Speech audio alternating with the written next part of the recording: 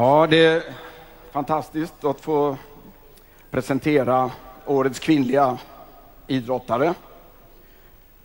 Det som jag tycker är det allra viktigaste av alla priserna.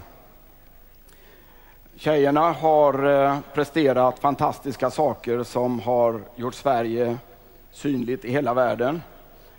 Kaxiga, framgångsrika, otroligt kämpaglada flickor. Och eh, de visar en otrolig framsteg för svensk damidrott. Och jag hoppas det fortsätter att slå världen med häpnad.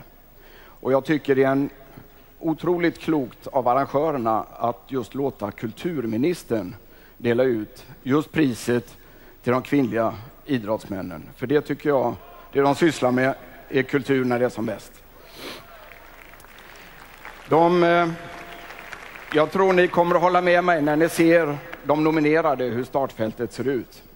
För de nominerade är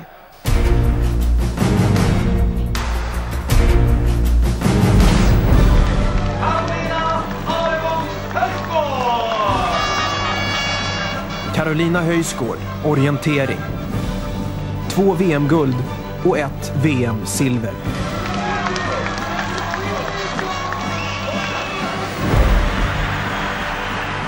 Carolina Klüft, friidrott.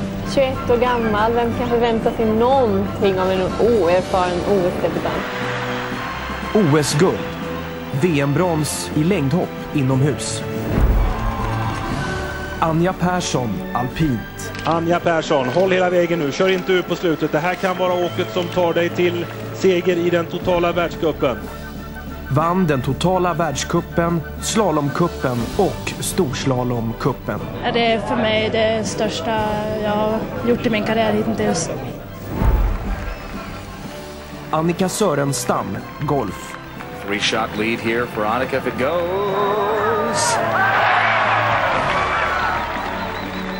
Tio torsegrar. Vinnare av penningligan. Världsetta. Congratulations to Annika Sorenstam.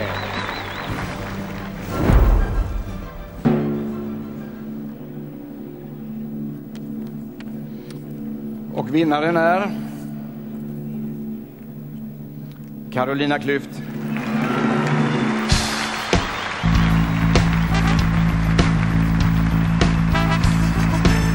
När Carolina passerade mållinjen på 800 meter satte hon punkt för den största utklassningen i den olympiska sjukampshistorien. Carolina vann med fantastiska 517 poängs marginal.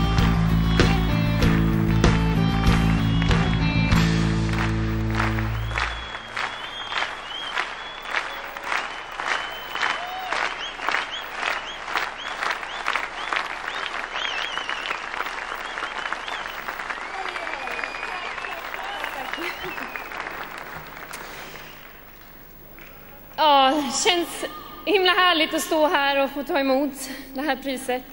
Och självklart är det många som eh, står bakom, inte minst Agne, min familj, Patrik, mina andra tränare, mina vänner, min släkt. Ja, det finns oändligt många och det känns underbart att få ett sånt fantastiskt stöd. Det är just det här stödet som gör att man känner man vågar gå ut, man vågar vara sig själv och man vågar gå ut och våga vinna och inte vara rädd för att förlora. För att det känns som att även om man misslyckas, när man misslyckas, så finns det stöd och det känns otroligt härligt. Så ett stort tack till alla fantastiskt varma hjärtan där ute. Och hoppas att ni får en fantastiskt trevlig kväll. Tack!